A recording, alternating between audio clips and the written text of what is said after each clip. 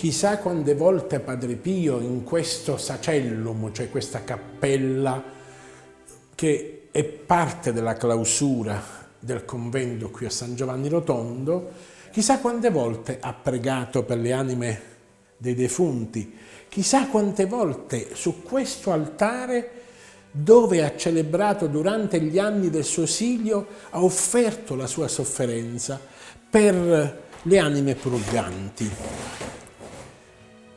Padre Pio, come tutti, era molto devoto di San Giuseppe.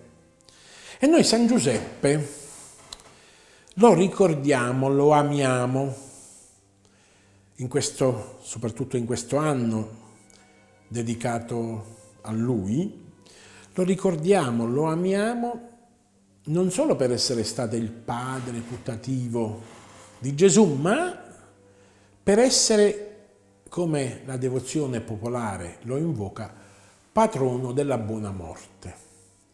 Cioè San Giuseppe è colui che ci aiuta a morire bene. San Giuseppe è colui che è presente quando noi siamo in agonia, quando passiamo all'altra riva, tanto per utilizzare un'immagine dantesca quando noi incontriamo il Signore. Lui lo pregava e raccomandava di pregarlo perché San Giuseppe ci aiutasse a prepararci alla morte e a morire bene.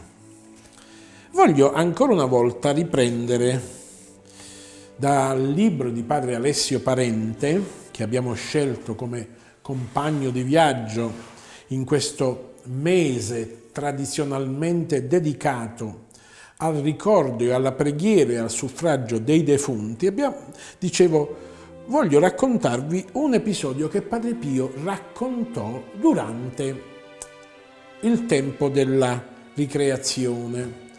Spesso questo tempo della ricreazione Padre Pio lo viveva eh, nel giardino del convento, passeggiando insieme alle persone, ai frati, ma anche a qualche figlio spirituale. E lui sapeva sempre dire la parola giusta al momento giusto, lui sapeva sempre raccontare fatterelli, ma anche barzellette che avevano sempre un significato molto molto profondo. E un giorno raccontò, dice padre Alessio Parente, questa storia. Un ufficiale dell'esercito, dopo aver trascorso un certo numero di anni nel purgatorio, si presentò alla porta del paradiso. San Pietro, vede, vede, vedutolo, lo ammonì dicendo, è troppo presto, ci vogliono ancora mille anni. All'udire queste parole, l'ufficiale rispose con un sorrisetto malizioso, ma io ho una lettera di raccomandazione datami dal tuo collega San Giuseppe. San Pietro lo vide strizzare l'occhio come se fosse stato già risolto il caso.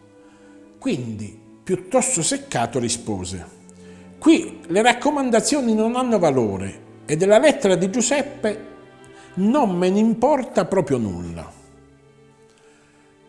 A questa risposta l'ufficiale capì che in quel posto la procedura era ben diversa da quella usata dagli uomini sulla terra. Pertanto se ne tornò nel purgatorio. Dopo qualche tempo San Giuseppe, a passeggio per il purgatorio, incontrò questo cavaliere e stupito di trovarlo ancora in quel posto gli chiese, ma come?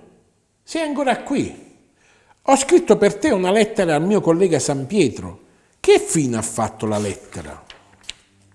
L'ufficiale, un po' rammaricato e risentito, rispose. Mi dispiace per te, caro San Giuseppe, ma il tuo collega lassù dice che della tua lettera non sa che farsene.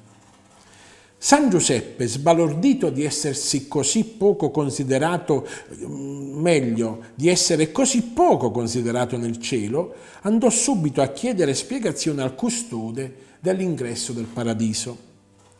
Cos'è tutto questo? protestò il padre putativo di Gesù.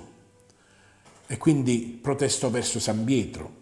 Tu accetti le raccomandazioni di Sant'Antonio, accetti le raccomandazioni di San Gennaro e poi rifiuti le mie? Spiegami il perché.